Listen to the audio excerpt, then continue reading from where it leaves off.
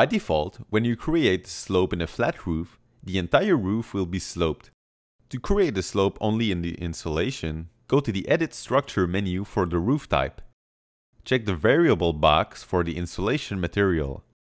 You have to make sure that this material is at least as thick as the slope you want to create. As you see in the section, the bottom of the roof is now flat.